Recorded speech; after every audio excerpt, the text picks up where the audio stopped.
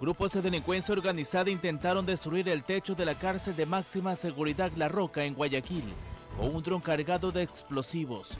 Los reos fueron evacuados y expertos del GIR ejecutaron una detonación controlada. Exdirector de la Escuela de la Función Judicial reveló cómo operaba el sistema de corrupción de jueces de la Corte Nacional de Justicia en su testimonio anticipado en el marco del caso Plaga. Refinería de Esmeraldas adelantó la suspensión de operaciones debido al taponamiento de una válvula en la unidad de fraccionamiento catalítico. Casi 2.000 pacientes permanecen en la lista de espera de un trasplante de órgano en el país. Tendremos un informe especial. En lo internacional, en Perú seis personas murieron y varias están desaparecidas al naufragar una embarcación en un río de la Amazonía. Así empieza la noticia de Misión Estelar.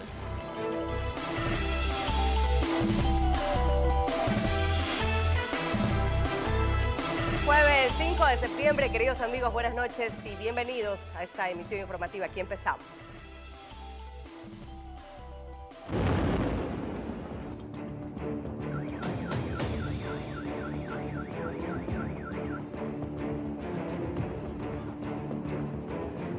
Grupos de delincuencia organizada intentaron destruir el techo de la cárcel de máxima seguridad La Roca en Guayaquil con un dron sofisticado que contenía una carga de explosivos de 40 libras. Los reos fueron evacuados y expertos del GIR ejecutaron una detonación controlada.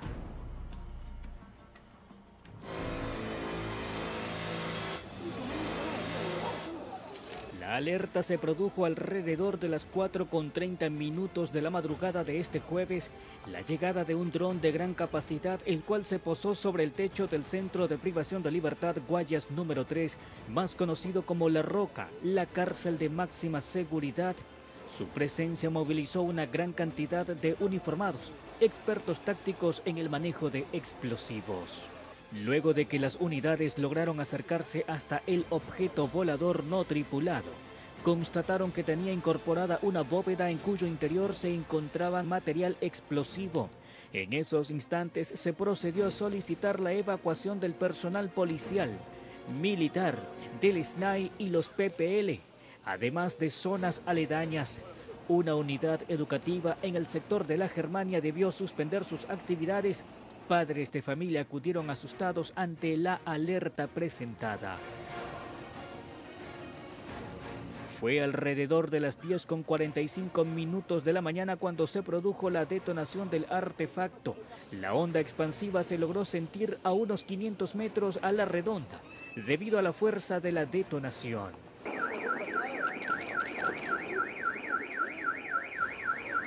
No son nuevos estos hechos que involucra el empleo de drones con explosivos.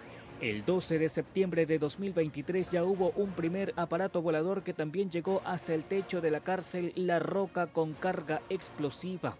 En aquella ocasión se procedió a una detonación controlada, dejando daños en el techo de la estructura. Un año antes, específicamente el 20 de mayo de 2022, se presentó otro suceso. En esa ocasión, tres personas perdieron la vida cuando manipulaban un dron con carga explosiva. Ellos permanecían en lo alto de un cerro en la parroquia Aurora del Cantón Daule. Desde ese lugar pretendían enviar la carga hasta el complejo carcelario en Guayaquil. Con cámara de Michael Arámbulo, informó José Morales. El bloque de seguridad sospecha que uno de los motivos para atentar contra la cárcel La Roca en Guayaquil era generar el traslado de los reos y quizá una fuga. El ministro de Defensa aseguró que en el reclusorio colocarán francotiradores para derribar estos dispositivos. Lo ocurrido este jueves en la cárcel La Roca obligó a una reunión del bloque de seguridad para adoptar acciones urgentes ante una amenaza de bomba con un dron que contenía una carga de explosivos de 40 libras y que fue controlado con 3 libras más. Las autoridades indicaron que fue frustrado el atentado. Claramente una labor de intimidación y una labor para lograr a lo mejor el traslado de las personas privadas de libertad o su fuga, que puede estar orquestada desde los más diversos sectores. Hasta este momento la situación se encuentra controlada. El personal de criminalística ha levantado todos los indicios para las investigaciones pertinentes. Asimismo, especificaron que por el tema de contratación pública por ahora no es posible implementar aparatos tecnológicos que detecten estas aeronaves no tripuladas, pero que tienen otra opción, indicó el ministro de Defensa. Por el momento eh, vamos a colocar snipers en la parte de arriba del, del centro de privación para poder identificar cualquier dron y tratar de derribarlo. Francotiradores. Durante la emergencia evacuaron a los 78 reos, entre ellos al ex vicepresidente Jorge Glass, también al ex asambleísta Pablo Muentes y líderes de grupos selectivos o sujetos peligrosos. A ninguno les aplicarán el traslado. Están a buen recaudo y hoy mismo estarán retornando a la roca. Aunque si es por el PPL Glass, la ministra Mónica Palencia recordó las fechas de su captura y este jueves. El 5 de abril del 2024 se dio la aprehensión del ex vicepresidente de la República, Jorge Glass Espinel. Hoy es aniversario. No estoy ligando los acontecimientos. Podría ser simple coincidencia. Las autoridades resaltaron que no hubo daños en la infraestructura y que van a realizar trabajos lo antes posible para reponer el techo afectado, informó Charlie Pisa.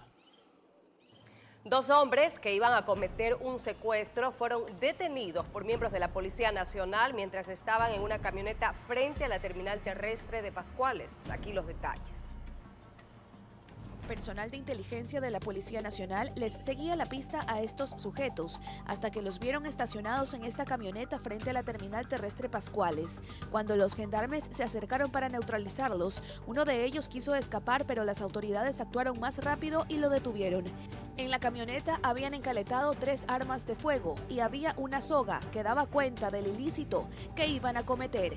Mediante información reservada, posiblemente ellos iban a participar en un secuestro en el sector de la ladrillera, el cual el personal de DGI iban verificando dicho vehículo hasta que procedió a pararse enfrente al terminal Pascuales. Son miembros de una banda delictiva y tienen más antecedentes penales poseen antecedentes los dos ciudadanos, dos por robo, igualmente uno por tenencia de porte ilegal de armas. El carro en el que se trasladaban los implicados no estaba reportado como robado, pero circulaban sin placas visibles, la escondían. Ambos fueron puestos a órdenes de las autoridades competentes, informó Adriana Peralta.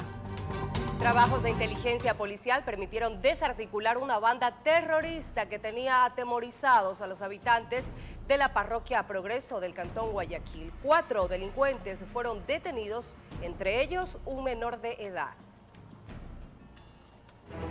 Durante el operativo Dominio 377 se ejecutaron dos allanamientos en el distrito Progreso, donde se decomisaron armas de fuego y dos fusiles. Tenemos 33 tipos de munición eh, de calibre 5.56, esto es de arma larga de fusil, y tenemos 30 municiones calibre 9 milímetros.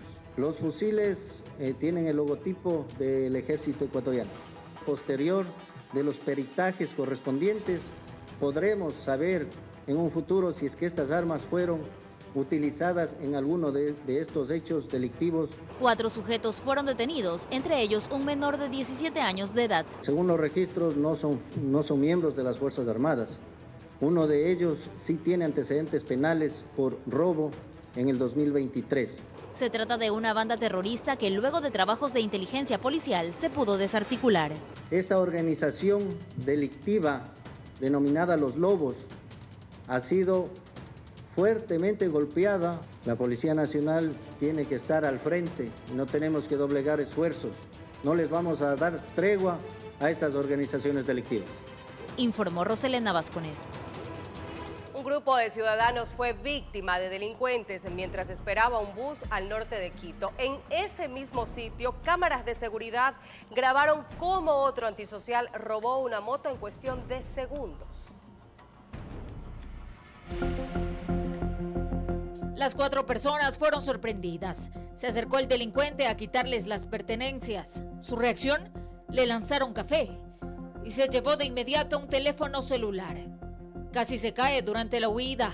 Al parecer tenía un cuchillo entre las manos con el que amedrentó de forma violenta a este grupo de profesionales, dos antisociales a bordo de una misma motocicleta, que hicieron de las suyas en la Guanguiltagua, Batán Alto, norte de Quito. Son unos profesores que esperan ahí el recorrido de la, de la institución. Quedó, estaban ellos conversando y quedó en silencio. Luego hubo un algo como que tiraron y ya cuando vi los chicos estaban ya yéndose para allá. Ese punto se ha convertido en la zona preferida para los ampones. Días atrás, este desconocido en cuestión de segundos prendió la motocicleta que estaba estacionada y se la llevó. El afectado al salir se dio cuenta del hurto nada pudo hacer. Un repartidor que vino a hacer una cobranza aquí en la tienda, dejó su moto, entró, salió y se llevaron la moto. Las grabaciones revelan la ola de inseguridad. Hay pocos transeúntes durante el día y por la noche licorerías del sector. Aprovechan laborando fuera de horario, explican.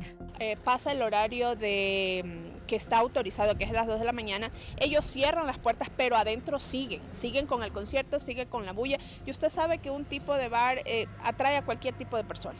Patrullajes, muy pocos. Controles a los vehículos, menos.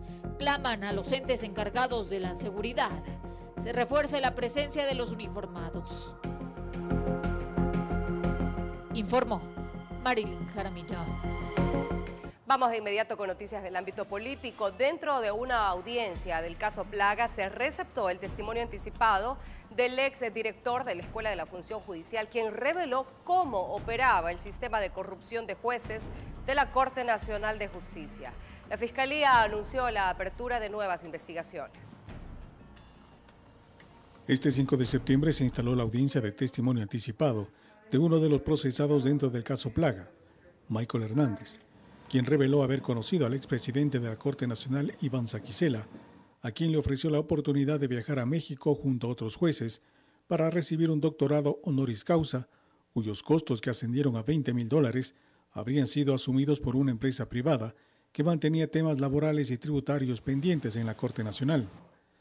El testigo relató que Saquicela mantenía diferencias con el entonces presidente de la Judicatura, Wilman Terán, a quien lo calificó de mal agradecido por no haberlo apoyado en su objetivo de presidir la Corte Nacional, pues Saquicela respaldó Terán para que presida la Judicatura a cambio de repartirse las direcciones provinciales y nacionales. Pero Terán dijo que cuando llegó a la presidencia no cumplió su palabra. Hernández asumió la dirección de la Escuela de la Función Judicial e inmediatamente comenzó a recibir pedidos de favores de parte de organizaciones y abogados reconocidos. Por ejemplo, mencionó el caso Vocales, que involucra a Maribel Barreno y Juan José Morillo, causa que estaba a cargo del juez Walter Macías, por el que empezó a recibir presiones de parte de los vocales de la Judicatura para que participe en la suspensión del juez. En el testimonio, el procesado mencionó que Iván Saquicela le hacía varios pedidos relacionados a las competencias de sanción de la judicatura, pero él no accedía porque estaba fuera de sus competencias.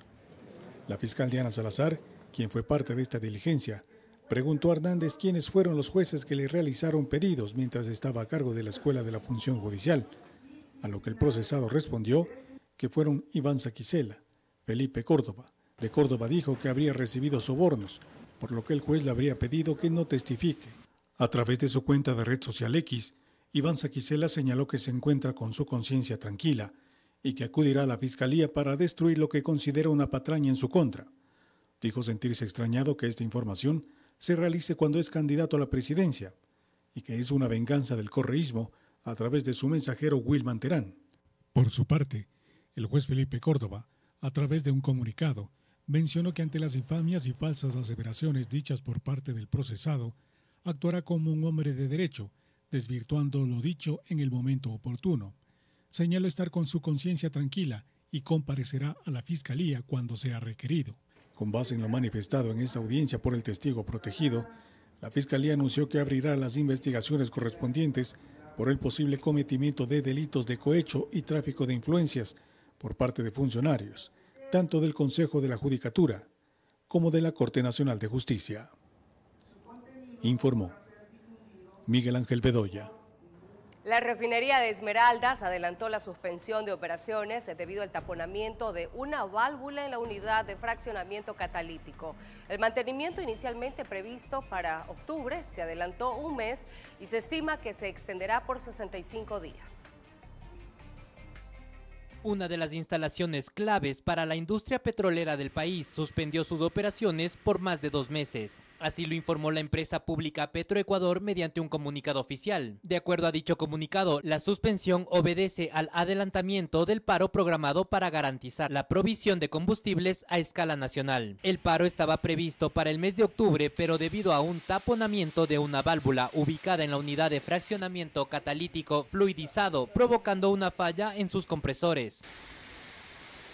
La decisión de la estatal petrolera tiene como objetivo optimizar tiempos y asegurar la continuidad de las operaciones después del mantenimiento. Además señalaron que se garantizará el normal abastecimiento de derivados a todos los sectores de consumo, incluyendo el sector eléctrico, el cual se encuentra en estado de emergencia. Los trabajos en la refinería tienen previsto un máximo de 65 días, donde se realizará un mantenimiento integral de la unidad, mismo que no se ha ejecutado desde el año 2015. Actualmente la refinería de Esmeralda tiene dos unidades viscorreductoras con capacidad para procesar 15.750 barriles de petróleo por día, informó Ítalo Salazar. 22 horas con 16 minutos amigos y es momento de un corte comercial, pero cuando regresemos de esta pausa, atentos porque tres sujetos que pretendían sustraerse una moto fueron sometidos por el populacho que los desnudó en media calle en Yaguachi, provincia del Guayas. Las imágenes de este hecho se viralizaron rápidamente. Tendremos todos los detalles.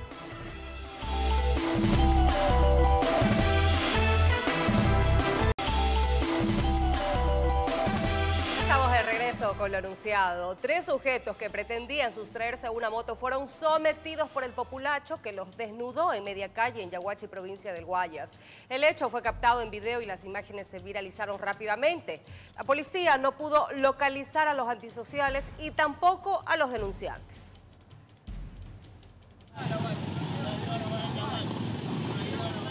Fueron por lana y salieron trasquilados pretendían asaltar a los habitantes de un populoso sector de Yaguachi, en la provincia de Guayas. Posiblemente estas tres personas habían procedido a sustraerse una motocicleta y que los moradores, eh, observando estas circunstancias, habían procedido a la búsqueda y aprehensión de estas personas. Podemos observar que están golpeados, este, están desnudos.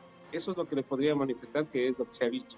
No hubo alerta del ECU 911, pero cuando la policía intentó localizar a los antisociales, no dejaron ni la sombra. Nos trasladamos a diferentes sitios como eran los hospitales, los centros de salud, los mismos que no fueron ubicados en nuestro sector. Ya se habían retirado y tampoco existe un, un procedimiento policial en virtud de que no existió denuncias ni, ni personas aprendidas. Sin embargo, solicitarán copias de las cámaras de seguridad para poder identificar a los presuntos autores que cayeron en desgracia. Y de las pocas que hemos levantado hasta el momento, pues no, no podemos distinguir quiénes o realizar, pero vamos a seguir haciendo este trabajo. Informó Jorge Escobar. Los incendios en Quito han disminuido su intensidad de forma considerable. En sectores como Nayón e Itulcachi existen pequeños focos que están siendo controlados a través de descargas de agua. Con el paso de las horas, los incendios en la capital poco a poco van disminuyendo su intensidad. En el sector de Nayón el panorama era desolador, gran parte de la vegetación fue calcinada y aún existen algunos focos de difícil acceso que son combatidos a través de helicópteros que realizan descargas de agua.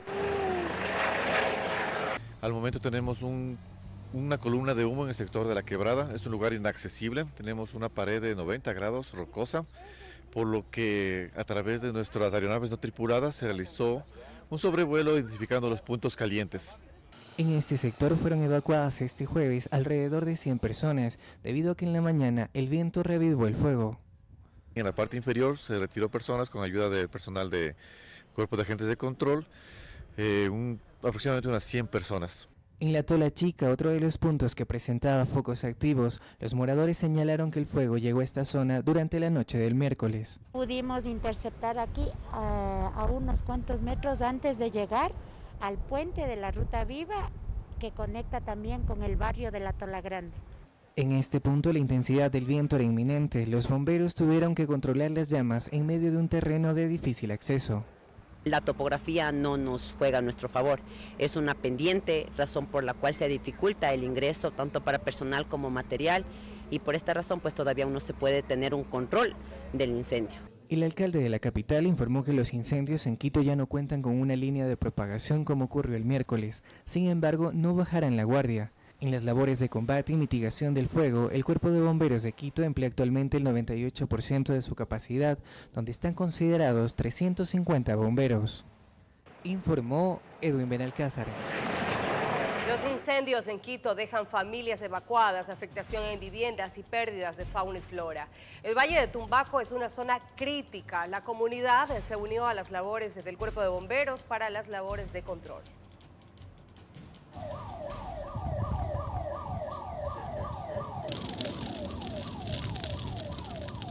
Los incendios forestales pasan factura en la ciudad. Las llamas alcanzaron a un conjunto habitacional en el Valle de Tumbaco. Es el momento exacto en el que los habitantes se enfrentan a una columna de humo y al calor.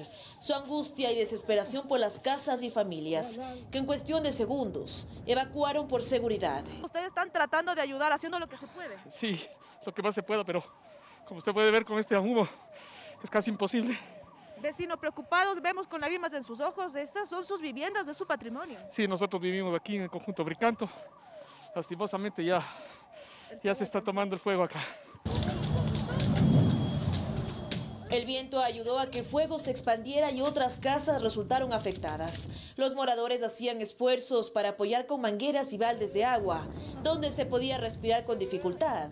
Se daban la mano sin esperar nada a cambio. Cogiendo agua para llevar a los tanques. El humo mismo que nos está complicando. Estamos entregando agua a los bomberos porque ellos necesitan más, pues. O sea, nosotros venimos a contribuir ayudándoles un poco. La comunidad buscó los medios para ayudar a los efectivos del cuerpo de bomberos. Sin descansar, los casacas rojas centraron sus esfuerzos en los focos calientes en la quebrada del Chiche. Con tanqueros utilizaron los hidrantes hasta las vertientes de agua para apagar el fuego. Hay diferentes cambios de clima se prenden en diferentes lugares, se trata de liquidar a lo máximo y resguardar lo que es a las viviendas de los señores moradores del sector. El humo alcanzó a todo el sector de la Tola Chica y Baja. Primera vez que sus habitantes vivieron una emergencia por incendios. Salvaron a sus animalitos, pertenencias, lo que podían. Al mismo tiempo se lamentaban por los daños causados. Logró salir de la casa. Vemos que no se ha olvidado de su peludito. Es como si fuese otra miembro de la familia, igual. Aquí en la casa ya se prendió una pérgola que, que tenemos. No, no, podemos permitir que se nos incendie toda la, la propiedad. Aún no se cuantifican los daños materiales y las pérdidas de las hectáreas por los flagelos. Mientras tanto, las autoridades responsabilizan a las quemas abiertas o pirómanos por lo sucedido en la ciudad. Informó Priscila. País, un tercer informe forense será solicitado por la defensa de la familia de la subteniente Pamela Ati, fallecida al interior de un recinto militar. No se descarta solicitar apoyo internacional para conocer las causas que provocaron el deceso de la oficial del ejército. Tras revelarse que la causa del fallecimiento de la subteniente Pamela Ati habría sido un edema pulmonar por intoxicación etílica, la defensa de la familia de la oficial fallecida señaló que en el primer informe, que señalaba que las causas del deceso sería por un presunto femicidio causado por asfixia mecánica, dista totalmente del informe que provino de la exhumación de los restos mortales. Que existen dos informes, un preliminar totalmente legal, realizado por una médico legal dentro de las 24 horas que se dio la flagrancia, y existe un informe final después de la exhumación del cadáver. Sí nos llama la atención que estos dos informes disten totalmente, ni siquiera parecidos, disten totalmente. A criterio de la defensa de uno de los militares implicados, quien practicó la primera pericia forense no contaría con la suficiente preparación para haber efectuado este proceso. El expediente de acreditación de la señora médico legista, en donde establece que tiene un solo certificado de honorabilidad en donde decía que, que le conocen y que tiene conocimientos de una inducción de medicina legal. Esa es la única experiencia que tuvo la médico legista. Además señala que quien entregó el cuerpo de la fallecida, a pesar de firmar como médico legista, tenía una formación totalmente ajena a este tipo de procedimiento. La persona que entrega el cadáver, de donde parte todo, incluso la autopsia médico-legal, es una persona especialista en energía eléctrica.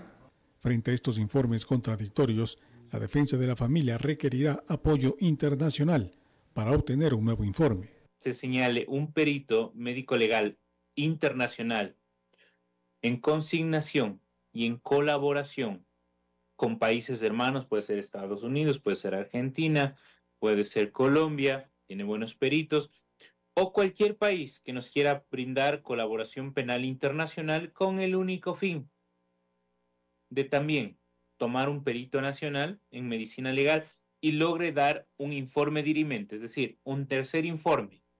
Dentro del proceso aún deben incorporarse los resultados de otras pericias, como el examen P30 para determinar presencia de líquido seminal en la víctima, así como perfiles de ADN, autopsia psicológica el análisis de los celulares decomisados. Informó Miguel Ángel Bedoya. Para Eduardo Peña, presidente del Consejo Directivo del IES, los resultados de sus meses de gestión son positivos. Entre las noticias que destacó fue el incremento de nuevos afiliados voluntarios. Han pasado nueve meses desde que Eduardo Peña Hurtado está a la cabeza de la administración del Instituto Ecuatoriano de Seguridad Social IES y a través de una rueda de prensa dio a conocer algunas novedades. El IES inició un plan piloto donde cinco unidades médicas atendieron fines de semana en variados horarios con la finalidad de reducir el tiempo en la lista de espera para cirugías programadas y citas médicas. Pues el plan ha dado sus frutos, aseguró Peña. Ahora serán siete unidades médicas más que operarán sábados y domingos. Es decir, el promedio de 900 cirugías por fin de semana posiblemente se duplique a partir del 14 de septiembre. Entonces tendremos alrededor a 1.800 cirugías cada fin de semana. Eso va a hacer que la cola se recorte de manera importante. A esto hay que sumarle que el número de inspecciones de afiliaciones incrementó en un 612%, con la misma cantidad de inspectores, 60. En esta misma línea se ha habilitado un nuevo canal virtual para que los trabajadores bajo relación de dependencia puedan realizar su reclamo por falta de afiliación, de ser su caso. Cédula y un contrato. Eso es todo. Cédula, un contrato de, el contrato de empleo. Si no está empleado, usted le toma una foto, la sube y nosotros nos encargamos del resto será afiliada. Si este es su caso, usted debe ingresar a www.ies.gov.es en la pestaña de reclamo por falta de afiliación, añadir sus datos, una copia del contrato. Recuerde que este reclamo es totalmente confidencial. Ahora bien, para evitar la corrupción en el IES, se creó la unidad de auditoría interna, la cual estará a cargo del control previo, concurrente y posterior de todas las gestiones financieras y administrativas, como por ejemplo la compra de medicinas e insumos. Muchos de ustedes se quejan de la corrupción que ha habido dentro de la seguridad social. Señores, este es el primer paso para revisar procedimientos, compras, controlar procesos de compra de medicinas, de insumos, adquisición de bienes y servicios, venta de activos, nombramientos, procesos administrativos, perfiles profesionales y de, personal. Sobre la deuda con dializadoras, centros oncológicos y otras empresas privadas, Peña señaló que han presupuestado más de 300 millones de dólares que se desembolsarán hasta diciembre de este año. Priorizamos corazón, cáncer, todos los olcas y riñones. Informó Mía Sa Es un placer que nos acompañen amigos. Casi 2.000 pacientes permanecen en la lista de espera de un trasplante de órgano en el país. Quienes sufren una enfermedad catastrófica piden a los ecuatorianos que acepten ser donantes cuando sacan su cédula o la renuevan en el registro civil. El 40% de las personas que acuden al registro civil a obtener su cédula de identidad o a renovarla dicen no cuando se les hace la pregunta si en caso de muerte encefálica aceptarían convertirse en donantes de órganos. Sin embargo, lo que pocos conocen es que la lista de espera de una oportunidad para mantenerse con vida alcanza casi las 2.000 personas y que Guayaquil es la segunda ciudad donde más enfermos requieren un órgano. Solo imagine qué sentiría si un médico le dice que le queda poco tiempo de vida. Como ya estuve nueve años, ya yo decía, pues no, ya es imposible que me llegue donación. No, no tuve mucha esperanza. O que sobrevivir depende de la voluntad de alguien más. O sea que ya me detectaron que era cirrosis. Y ahí todos esos ocho años hasta que me, dieron la noticia que ya me, me habían puesto en la lista de trasplante. No me imaginaba que me iban a hacerme el trasplante pero existe personal médico que a diario, tanto en los hospitales públicos como en los privados, trabajan para salvar vidas. Por ejemplo, en el Hospital Guayaquil, donde llegan los posibles donantes. Cuando llega un paciente crítico con muerte cerebral, todo el, equipo se activa. Esto consiste en realizar una serie de estudios al probable donante comunicar al Instituto Nacional de Trasplantes que tenemos un posible donante para hacer todos los exámenes especiales que se requieran para poder llegar a un trasplante, que son los que se trasplantan finalmente en otras instituciones, incluso de la Red Pública de Salud e instituciones privadas. En lo que va del año, el Hospital Guayaquil ha entregado al país 11 donadores, con lo que se logró salvar la vida de 80 personas. De allí la importancia de aceptar ser donante.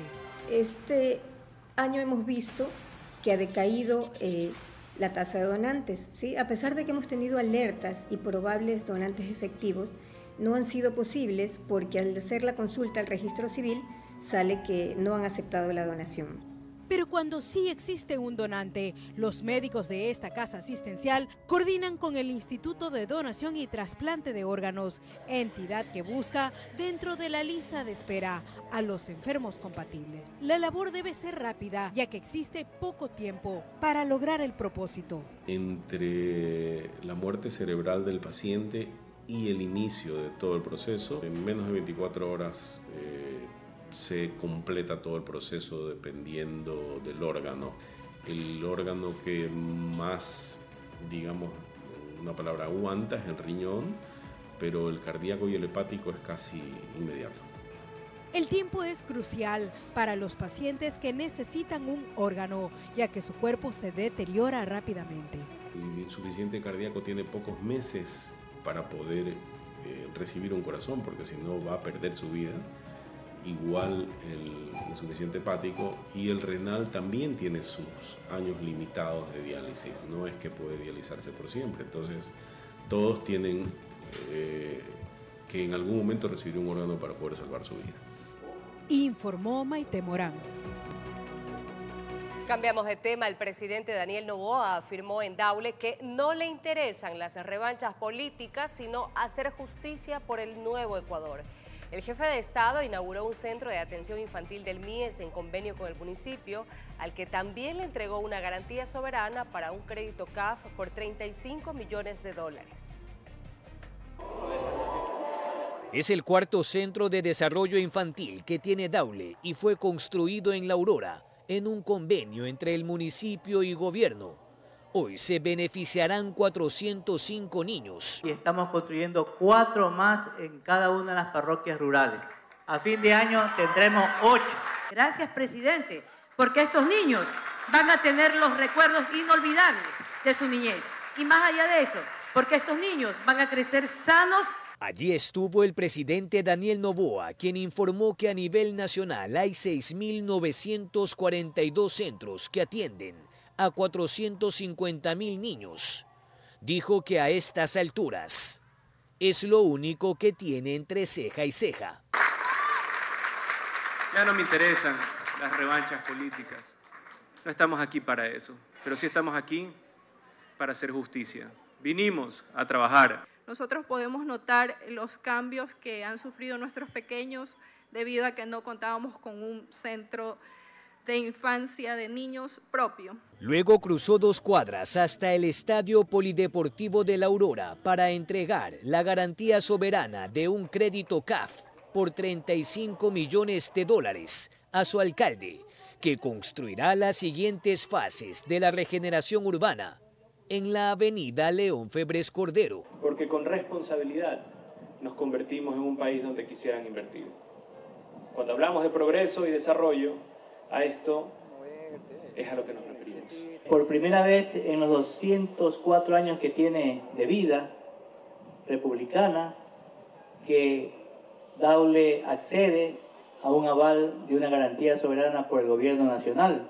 Tras el pago de 6.880 millones de dólares a los proveedores, el ministro Juan Carlos Vega informó que poco a poco bajan la carga en la caja fiscal. De nuevas obras de financiamiento internacional para que progrese el Ecuador, Guayas y sobre todo Daule. ¿Significa que el saldo de cuánto es más o menos, ministro? Eso cada, cada día varía, pero ha bajado en más, más de mil millones. Finalmente, a la Universidad Guayaquil para el lanzamiento de la aplicación infancia.es, parte del programa con el fin de disminuir la desnutrición crónica infantil.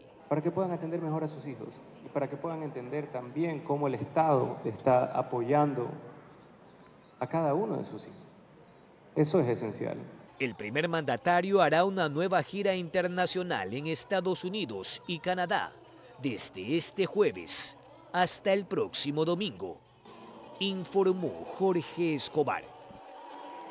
En el Ecuador se puede solicitar la pensión de alimentos para cónyuges cuando se tiene un vínculo legal con el conviviente y uno de los dos no cuenta con ingresos económicos. Preste mucha atención.